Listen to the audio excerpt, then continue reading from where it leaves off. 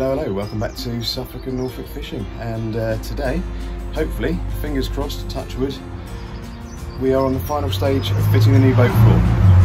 And to do so, we, I, am going to be applying a flow coat, which is a, a thick, waxy paint that you, you mix up with a hardener, to, to the fiberglass of the deck. So, so far, I've cut out all of the rot, and I've replaced the all of the rotten wood with some marine ply.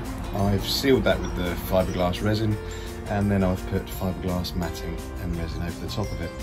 Um, actually, to be honest, it's been really simple. Um, there's been nothing really tricky about the whole process um, other than just finding the time to get it done really. So, last layer of fiberglass was laid about 10 days ago and obviously the fiberglass has a waxy layer that, uh, that sort of makes its way to the surface of the resin after it cures.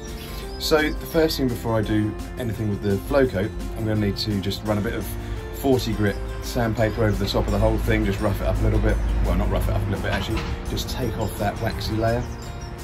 I'm not going to be too precious about collecting um, all the bits and bobs up though. Um, I'm just going to give it a quick dust down and a very quick hoover, just because the wax that comes off the fiberglass will mix in with the flow coat and uh, that's got its own wax in there anyway, which is part of its, um, how it, how obviously it's waterproof with the wax in. I had a little test with the flow coat last night, um, just to make sure, you know, just to let myself, just to kill some time, let myself uh, know what I was in for today. Um, and I did this a bit of test fiberglassing on this in, in my second video, and I applied that flow coat with a spatula. And if I've applied that with a spatula, then I think I'll get a really good finish with a roller um, afterwards. And actually, I didn't sand that bit down first, and it's taken really well. I've just gone off overnight, so I'm really looking forward to using this product. Um, should be good.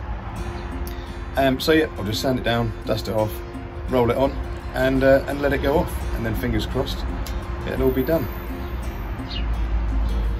I mean, that is fingers crossed though, isn't it?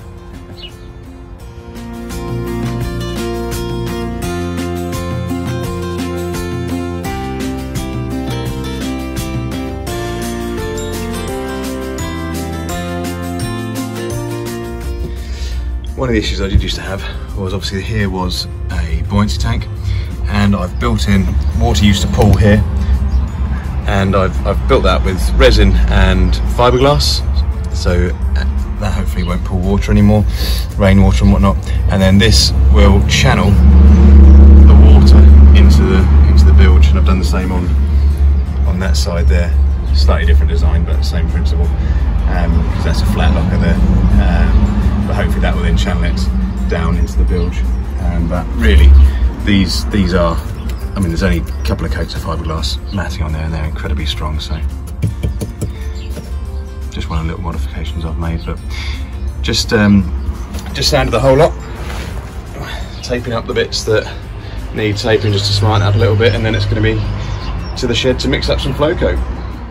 So next bit is where we're going to mix up the flow coat, and comes in a comes in weight, so it's five kilos of flow coat, hoping that's gonna do the whole whole lot. I'm gonna mix it up in a in a drink cylinder, gonna do half a half a litre, um, between two and four percent, so what we're looking at sort of 10, 15, 20 mil, something like that for, for half a litre of flow coat. It comes out really thick, but the hardener, once you've mixed it all in, it goes quite runny.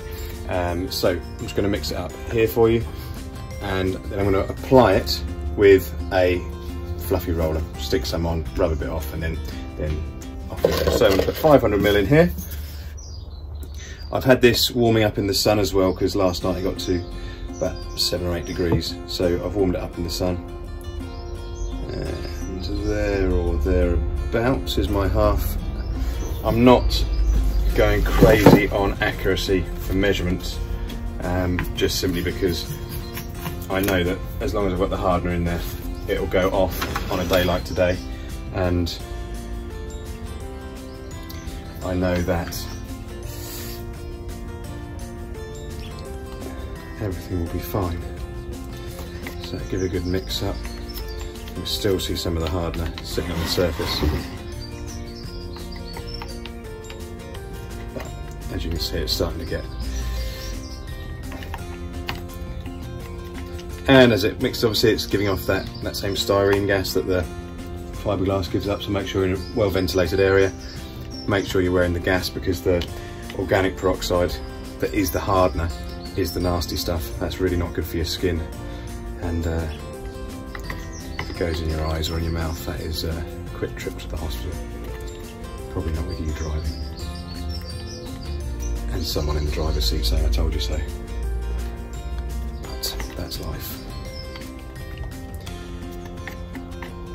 Right, so I'd say that's, give that a bit more when we're on the boat, um, but then I'm just gonna go and apply it.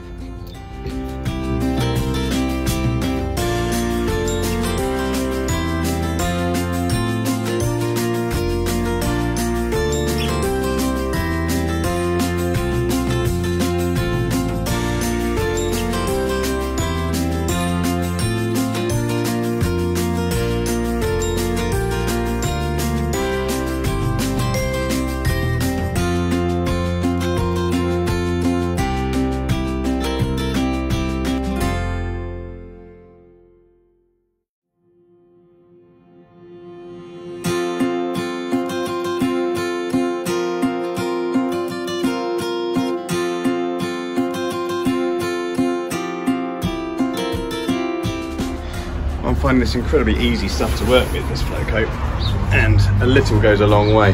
As you can see, I've, I've used probably 750 mil just to do this bit here.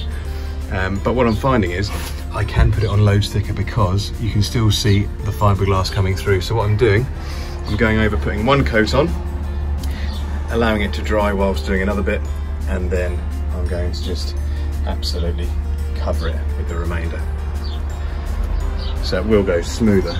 Um, I've done a bit more of a covering here, so you can't actually see any gaps in the, uh, when I say gaps in the fiberglass, I'm talking about these little strain bits um, and the little tiny air holes, not air holes, are they? Those little gaps where I haven't got with the roller, so I can put it on loads thicker. So I'm gonna do one coat and let it not dry, just go slightly tacky, give it five, 10 minutes, and then um, really lather it on. Um, there's a bit there that I've done two coats on and there's, there's no gaps at all. And here's a bit where I've done one coat and you can see a few, few little holes there.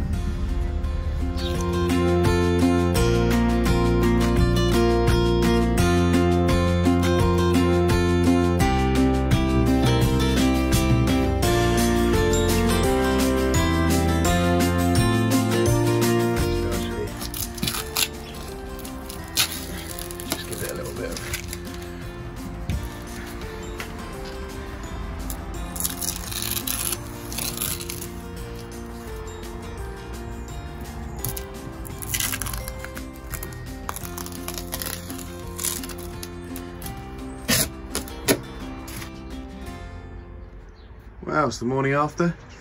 It's had a bit of time to dry and uh, got to tell you, Eddie the Amateur strikes again. What a top job. Really happy with how that's turned out. Cured off nicely, deck sorted. Now all I've got to do is cover it in fish, cover it in bait, get some water around the outside and go and have some awesome times fishing. That's what it's all about really happy I've done with it. It's such an easy process, bit time consuming, but really, really worth it. And very, very rewarding. Boat looks, boat looks awesome to be honest with you. Really happy. Right, I'll see you again.